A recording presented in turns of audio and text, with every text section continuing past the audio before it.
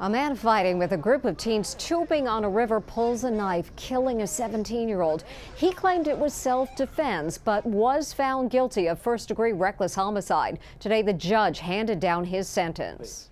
Sentencing day for the man convicted in the stabbing rampage between tourists tubing on a popular river. 54 year old Nicolae Miu sat stone faced with his head bowed as his attorney spoke on his behalf. Mr. Miu was, is a good man. Tears rolled down the killer's cheeks. And he has shown remorse. Nicolae Miu was at the center of a wild melee on the Apple River, a popular summer destination in Wisconsin in 2022.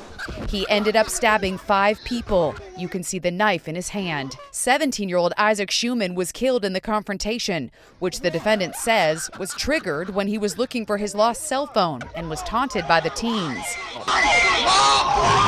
Miu claims he acted in self defense, but the jury didn't buy it and found him guilty of reckless homicide. The jury finds Nicolae Miu guilty. Today, at his sentencing, the Romanian born mechanical engineer choked up as he apologized. Dear parents, family, and friends of Isaac, I would like to.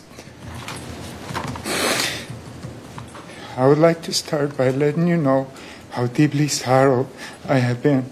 I am, and I will always be, for the real fact that Isaac is not with you anymore. Then came the sentence. I will impose a term of initial confinement of 20 years, followed by six years of extended supervision.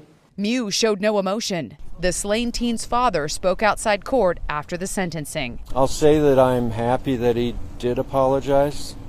Um, I still need to process that. Uh, but I didn't expect it, and I was happy that he did that. The DA says Nicolae Miu could have avoided the entire ordeal if he had just walked away without pulling out his knife.